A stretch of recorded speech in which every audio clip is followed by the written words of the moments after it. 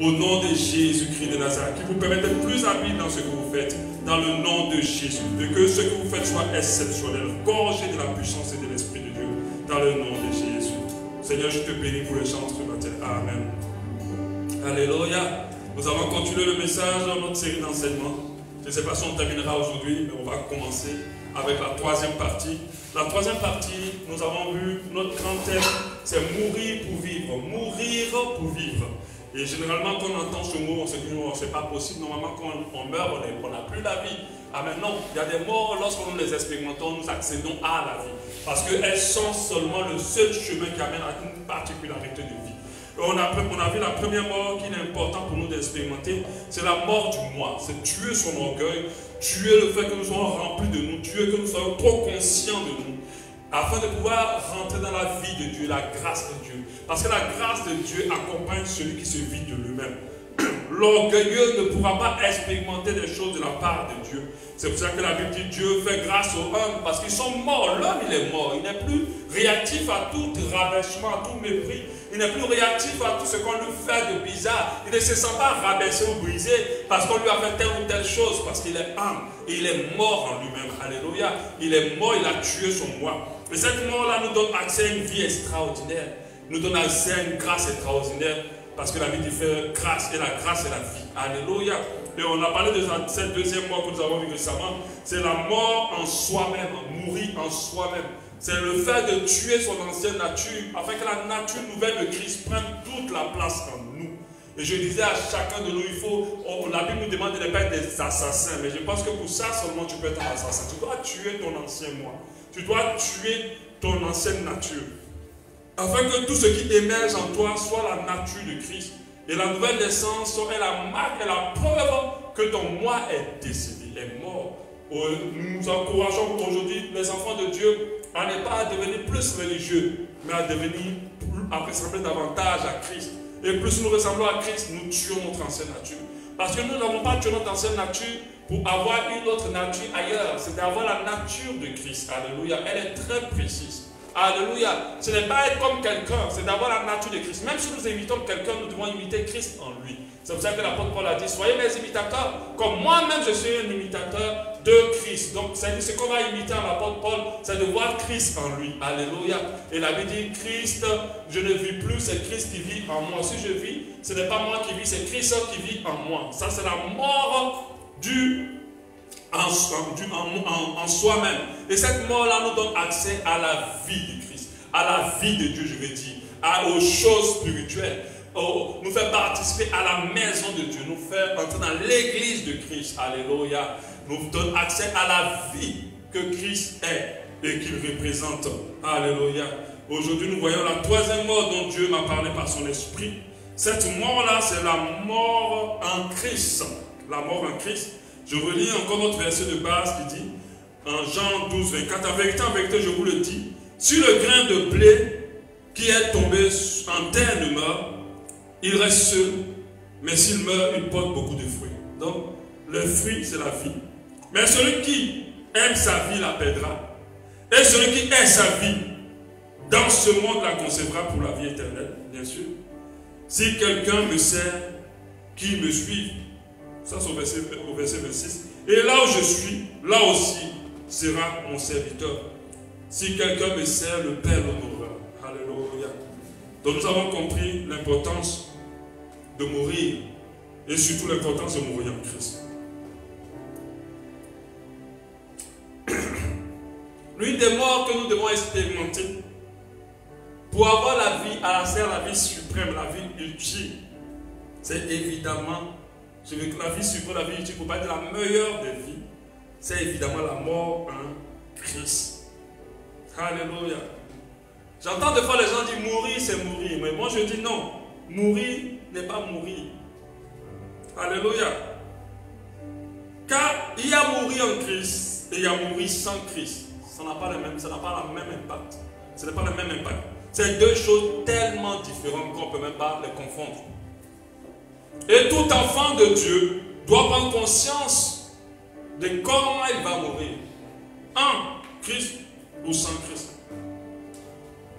La vie que Dieu nous réserve pour l'éternité n'est pas pour quiconque meurt.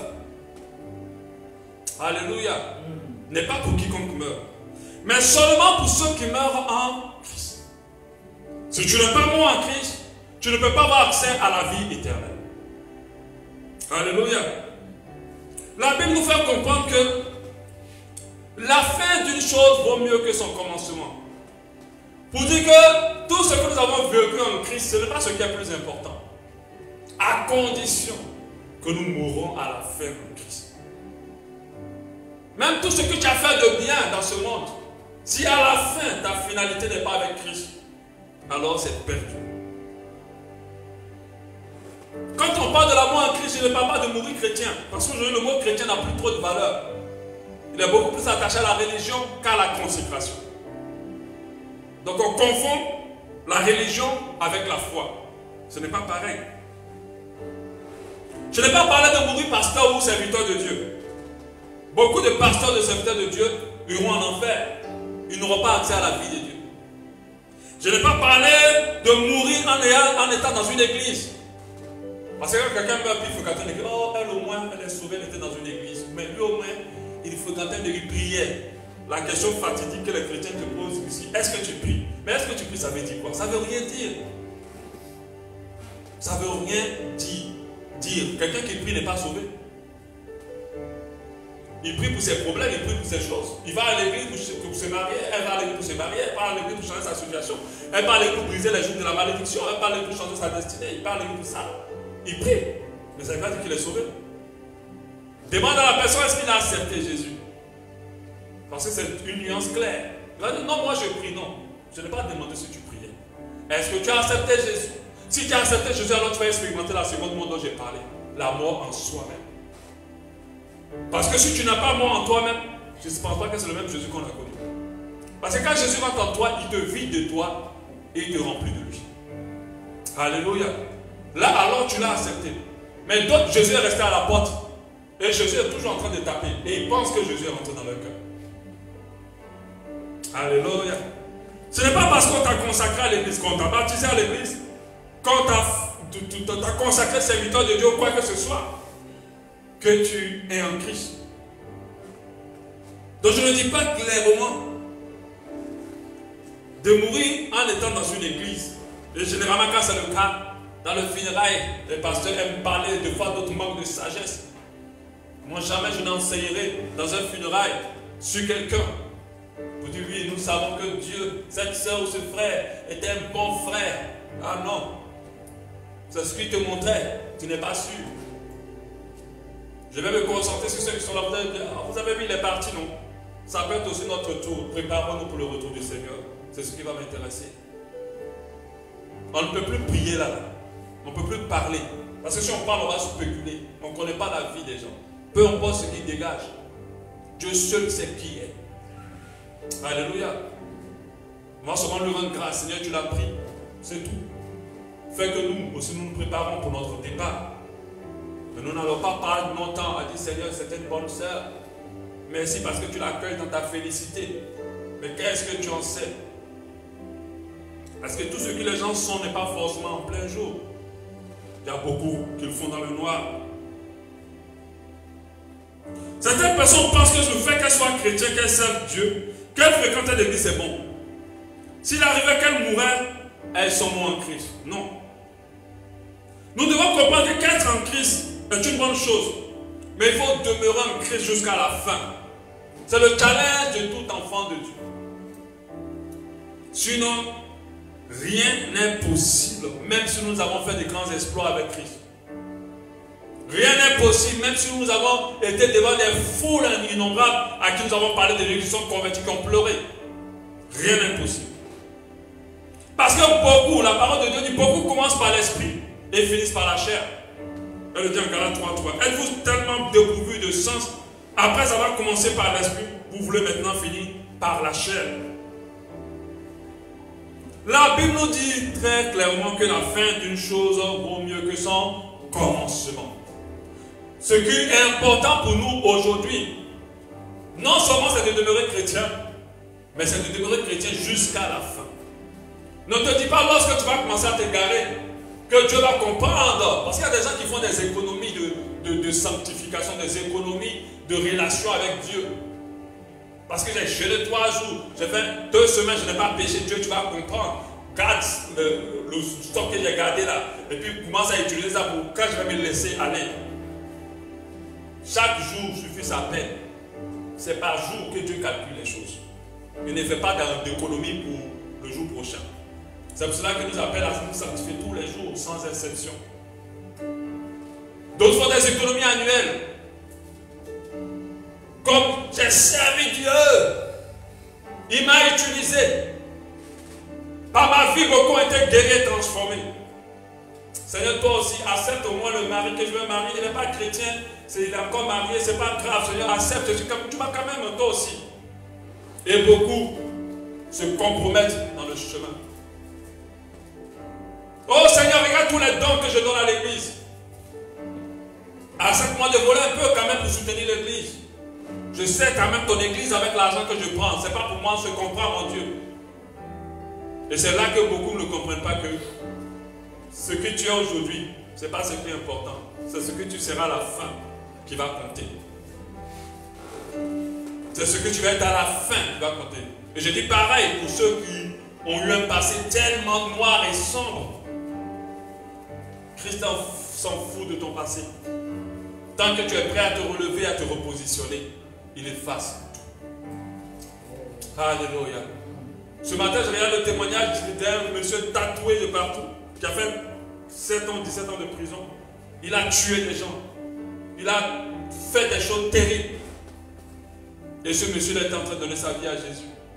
Il est en train de pleurer. Quand le pasteur l'a baptisé une fois, quand il est sorti, il a dit au pasteur, remets-moi encore dans l'eau. Parce que ce que j'avais senti là, je ne peux pas encore, tu ne peux pas me sortir comme ça. Remets-moi encore dans l'eau. Le même, il a été baptisé deux fois. Tellement il a senti Dieu. Une personne qui a égorgé, tué, qui a fait les pires choses, détruit des familles, détruit des vies. Dieu a effacé Alléluia. C'est pour ça que l'apôtre Paul a clairement dit, quand tu lis l'apôtre Paul, tu ne sens pas un chrétien qui se pose sur ses lauriers, qui se dit, voilà, je suis l'apôtre Paul. C'est à moi que Dieu a donné la mission de gagner les païens. Avec tous les miracles que je fais là, Dieu, oh, oh, Dieu peut comprendre. Tu sens quelqu'un qui est toujours inquiet. De, faut pas je rate le ciel. C'était ça qui était plus dans sa tête que les Oh, je vais. Oh, je, viens un, un clip qui est sorti, c'est pas pour critiquer, mais vraiment ça m'a choqué. Le qui c'était euh, Mon miracle aujourd'hui, aujourd'hui, un truc comme ça. J'étais là, j'ai dit, mais attends, souciez-vous des choses importantes. Ils n'ont même pas le souci d'être sauvés. L'apôtre Paul, le grand apôtre Paul, qui a le niveau de consécration de cet homme-là. Mais il était toujours inquiet de ne pas sortir de la course, de ne pas rater le ciel. C'était son souci. Quelqu'un qui parle et puis les choses se produisent, qui ressuscite des gens. Mais tout ce qui l'inquiétait, c'est de ne pas rater le ciel. C'est de mourir en Christ. C'est pour ça qu'il a dit en 2 Timothée 4, 7. J'ai combattu le bon combat. Il dit, j'ai fait ce qu'il fallait faire. J'ai achevé la course. J'ai gardé la foi. Et désormais la couronne de justice m'est réservée.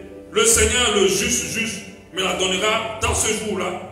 Et non seulement à moi, mais encore à tous ceux qui auront amené, aimé son avènement. Donc, il dit il a combattu le bon combat. Il précise j'ai achevé la course.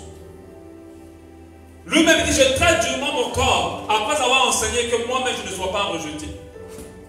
Donc, ce que importe à Dieu, ce n'est pas les prouesses ou la vitesse, c'est l'endurance.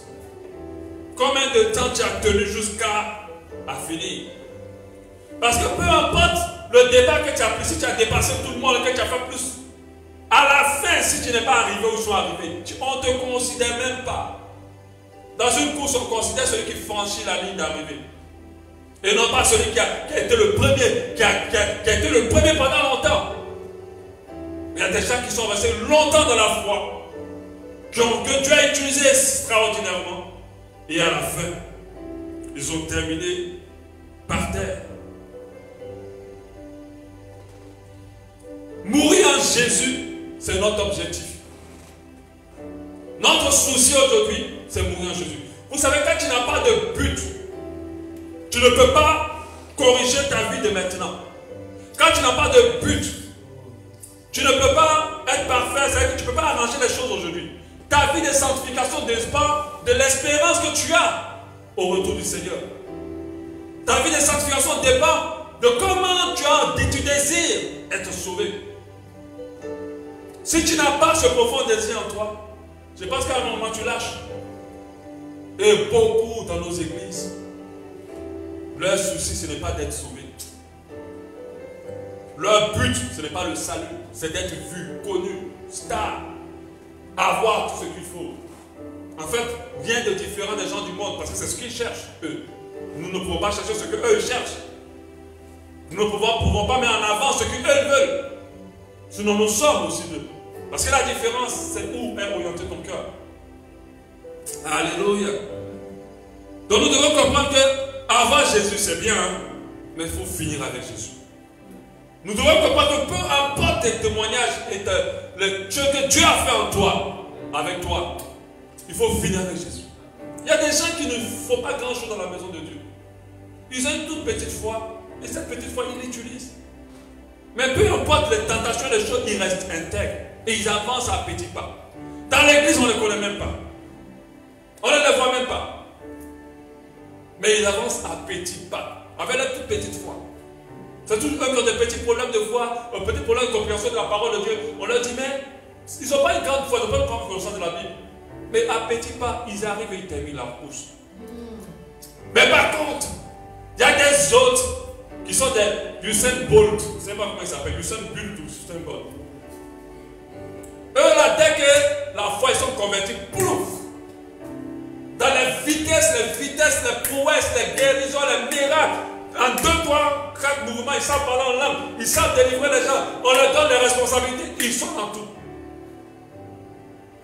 Il suffit seulement d'une petite pression et ils flanchent. Je vais te dire quelque chose. Quand tu es en vitesse là, il suffit de rien pour te faire tomber. C'est pour ça qu'il faut prendre le temps avec le Seigneur. Il faut prendre le temps des étapes. Parce que quand tu es en vitesse, selon la science, ton poids devient plus léger. Mais quand tu prends ton temps, si quelqu'un te pousse, il ne pourra pas te faire tomber comme ça. Alléluia. Et c'est comme ça que d'autres se grabouillent. Vous voyez comment la, le gars tombe et puis le visage gratte le goudron. Et c'est comme ça que d'autres finissent leur foi. Et ils n'arrivent plus à se relever. Prenez votre temps avec Dieu. Ne vous pressez pas.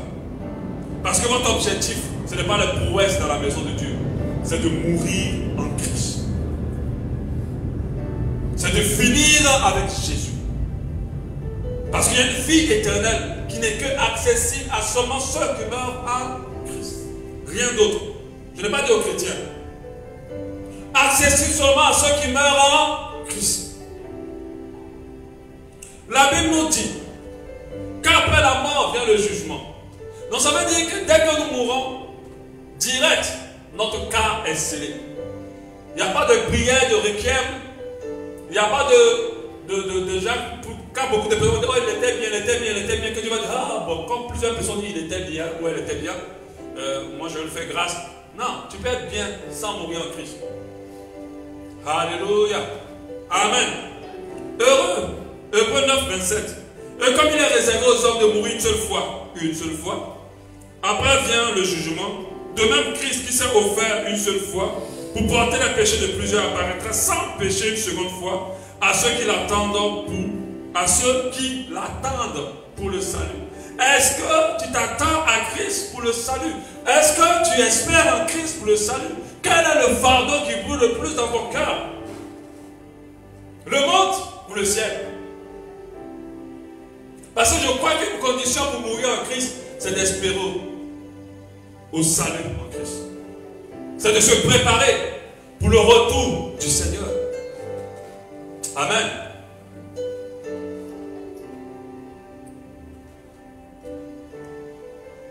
Il n'y a pas de condamnation pour nous qui mourons en Christ. Il n'y a pas de jugement pour nous qui mourons en Christ.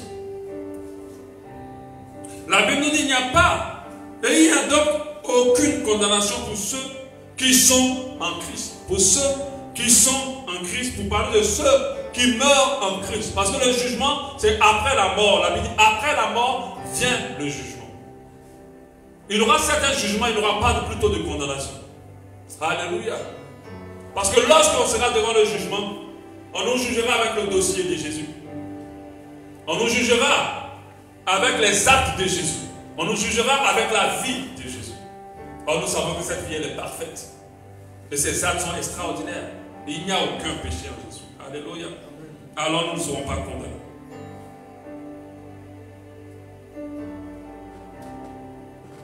Nous devons comprendre que le plus important dans ce monde, ce n'est pas de se battre pour ne pas mourir.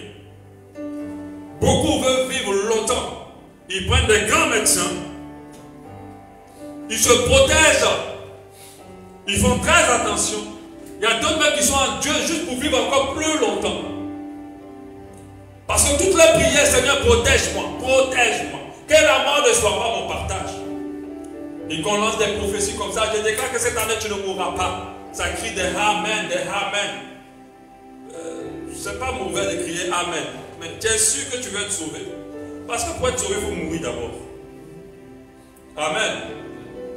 Alléluia. Amen. Je crains que cette année, je proclame que cette année tu ne mourras pas. Pour moi, ce n'est pas une bonne prophétie. Je ne vois même pas le sens de cette prophétie. Alléluia. Je ne vois pas.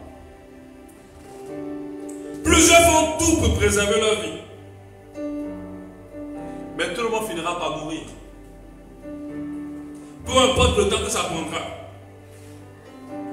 Beaucoup se sont pensés immortels. D'autres même se sont dit Dieu. Certains serviteurs de Dieu même se sont cru immortels. Et ils sont quand même morts. Le plus important, ce n'est pas de mourir vite, mais plus tard. Mais c'est dans quelles conditions nous devons mourir? Nous mourrons. Le plus important, ce n'est pas de mourir parce que tu n'arrives pas mourir parce que ah, ça fait trop mal. Alléluia. Amen. Ça fait trop mal. on ne connaît pas. Accident, ça fait mal. Et plein de choses. Je m'amuse de fois à regarder les enquêtes impossibles. Et je rencontre, je, je suis l'histoire d'une dame. Qu'un monsieur avait, d'abord l'avait tiré dans sa tête, il n'avait pas réussi à la tuer, il a trimballé chez lui. Et il allait la violer chez, lui. Et pendant qu'il la violé, il lui mettait le couteau dans la poitrine. Elle disait, pendant qu'il me piquait, je ne ressentais rien. Je sentais juste de fortes pressions. Et après, elle a été sauvée par la grâce de Dieu. Elle n'est pas morte. Mon frère, ma soeur, ça fait mal. Hein. Mais la douleur ne reste pas éternellement sur toi. Le plus important, c'est comment tu meurs. C'est pour cela que les apôtres, ils étaient des sacrifices vivants. Sur deux pattes, deux pieds. Est-ce que tu as atteint le niveau d'être un sacrifice sur deux pieds?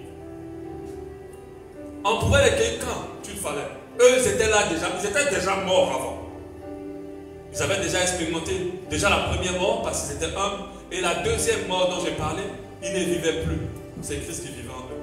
Quand tu as atteint ce stade-là, quand on t'attrape, il y a des chrétiens qu'on les attrape, ils demandent pardon même au, gars. Hein? On t'a mis le couteau quand tu pleures, tu demandes pardon, pardon. Ah! Tu es sûr que tu es chrétien, tu as lu la parole de Dieu. Alléluia. Il veut vite te faire amener chez le Père. Gloire à Dieu. Alléluia. Quand il te dit là-haut, mon nom est écrit là-haut, là-bas, tu chantes son gars dit, mais lui, il est. C'est un fou, il va fuir. Et te lui, je le vois, oui, je le vois. Comme Étienne voyait le Seigneur. Pendant que nous, on veut le terminer, il attend de regarder au ciel. Mais il demande pardon. Il pleure même. Pardon, ne me tue pas. Je ne vais pas mourir. C'est ce que tu es chrétien. Alléluia. C'est fait la peur sera là. Mais tu peux pas avoir quelqu'un qui veut t'amener chez ton père. Il n'y a pas un endroit où on peut se sentir bien si ce n'est que là-bas. Je n'ai pas demandé de lui de te tuer. Mais il ne faut pas aussi lui demander pardon de ne pas te tuer. Donc ne monte.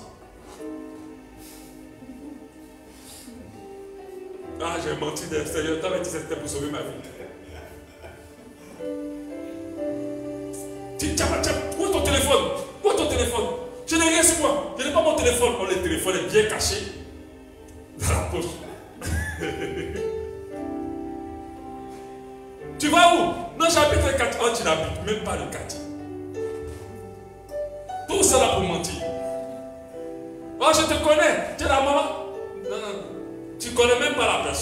Tout cela pour préserver ta vie. Et c'est comme ça vous avez tué un pasteur au Libéria. Il avait menti. On l'avait reconnu. Il a dit, il n'est pas homme de Dieu, il ne connaît pas Jésus. Et sa femme a dit, moi là, si vous voulez tuer moi, moi là, je connais Jésus.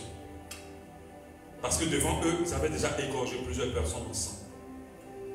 Ils ont tué cet homme, ils ont libéré sa femme. Parce qu'ils ont vu, comme Dieu l'a dit, si tu cherches à garder ta vie, tu la perdras. C'est pour ça que je ne dis pas qu'il ne faut pas qu'on entretienne nos vies, qu'on ne fasse pas du sport, qu'on fasse attention à notre santé. Je ne vais pas dire de ne pas faire ça. Mais je pense qu'il ne faut pas que cela soit armé dans l'esprit pour dire je ne vais pas mourir maintenant. Armons-nous de cet esprit-là pour dire c'est normal. Dieu veut que nous prenions soin de ce qu'il nous a donné. Alléluia. Le corps, c'est quelque chose que Dieu nous a prêté. Il n'est pas à nous. Il faut l'entretenir. Parce qu'il y a des principes, si on ne l'entretient pas, on peut mourir prématurément. Et ce n'est pas de la faute de Dieu. L'enfant de Dieu doit mourir à la date exacte que Dieu a prévue pour lui. Et pour cela, il doit veiller. Alléluia. Le plus important, ce n'est pas le fait de ne pas mourir maintenant. De fois, je me dis, ah Seigneur, on a nos désirs tous. On veut voir nos enfants grandir, les marier et attraper nos petits-enfants. C'est légitime en tant que parent. Alléluia. C'est pas mauvais. C'est vraiment légitime. Et c'est une prière qu'on peut faire au Seigneur. Pas par la crainte de mourir, mais parce que c'est nos enfants. On les aime, on veut être avec eux. On se marie pas pour que le mari ou la femme meure pendant qu'on est marié. On veut être vieux. Moi j'ai vu plein de vieux couples qui sont mariés depuis des années. C'est le désir de tout le monde, c'est légitime. Mais pas par la crainte, à cause de la crainte de la mort. Mais ce que nous devons garder dans notre esprit, c'est comment nous mourons. Avec ou sans Christ. Marc 8, 34 nous dit, puis, ayant appelé la foule avec ses disciples, il leur dit, si quelqu'un veut venir après moi, qu'il renonce à lui-même, qu'il se charge de sa croix, car celui qui voudra sauver sa vie la perdra, mais celui qui perdra sa vie à cause de moi et à cause de la bonne nouvelle la sauvera. Et il dit à la fin, verset 36, que c'est-il un homme de gagner tout le monde? S'il perd son âme Que donnerais-je un homme en échange de son âme? Quand tu meurs en Christ, au lieu que ta mort soit une perte, elle devient un gain. Au lieu que tu, on dit il a perdu sa vie, on doit, dire plutôt il a gagné la vie éternelle. Et je pense que la vie éternelle comparée à cette vie-là, il n'y a pas de comparaison. Récemment, j'étais là comme ça, on parlait avec ma femme, je me, me dis, ah, le monde là, vraiment, il n'y a pas un jour où on peut dire, c'est calme. C'est calme pour toujours. Mais à, un moment, il y a toujours quelque chose qu'il faut gérer. À la, fin, ça fatigue en fait. Il n'y a pas un moment où tu vas te dire, c'est bon maintenant, là je suis arrivé, plus de problèmes, plus de soucis, plus d'inquiétudes. Il y a toujours des choses qui vont venir te secouer à chaque fois. Je me dis, ah, donc c'est cette vie qu'on aura tout le temps ici. Mais oui, c'est cette vie qu'on aura tout le temps ici. Même ceux que vous voyez heureux ont des phases de souffrance, ont des phases d'épreuve. Tous. Mais de seul endroit, il n'y a plus ça. C'est la vie éternelle. Il n'y en a plus. Il n'y a pas le souci de manger, il n'y a pas le souci de construire, il n'y a pas le souci de loyer, il n'y a pas le souci de la mort ni de la santé, il n'y a pas le souci de quoi que ce soit. Mais la condition pour y avoir c'est de mourir en Christ. Je vais lire ce verset, on va continuer la prochaine fois. Philippe, Pierre 1, 21 dit Car Christ est ma vie. Alléluia. Christ est ma vie. Et la mort m'est un gain. Combien de chrétiens le répètent? Combien de chrétiens en sont conscients? C'est vrai que ça fait peur de mourir tout le monde. C'est normal. C'est pas mauvais. La douleur, la souffrance, plein de choses. Mais nous devons atteindre cette dimension Christ est ma vie et la mort m'est un gain. Mais s'il est utile pour mon œuvre que je vive dans la chair, je ne saurais dire ce que je dois préférer. Je suis pressé des deux côtés. J'ai le désir de m'en aller et d'être avec Christ. Ce qui est, ce qui de beaucoup est le meilleur. Mais à cause de vous, il est plus nécessaire que je demeure dans la chair. N'importe pas. Il dit que Christ est vie, la mort. Il dit, lui, il est à Dieu. Il est pressé de retrouver le Seigneur. Et il dit, ce qui est de, de beaucoup, le meilleur. Donc il veut dire, la vie éternelle est de beaucoup meilleure à la vie ici. Mais il dit, à cause de l'œuvre, à cause de vous, je suis encore vivant. C'est pour ça que des fois je dis à plusieurs personnes, si tu veux vivre le temps de Dieu, sois utile à Dieu. Si tu veux vivre le temps que Dieu a réservé pour toi, sois utile. Parce que Dieu ne te fait pas vivre pour toi. Il te fait vivre pour ce qu'il veut faire avec toi. Et beaucoup ne le comprennent pas. Arrivé un moment quand ils se sont mariés, ils s'assoient dans le mariage. Arrivé un moment quand ils ont eu une entreprise, c'est maintenant l'entreprise que leur vie. Si ton entreprise est ta vie, alors la mort ne sera jamais ton gain.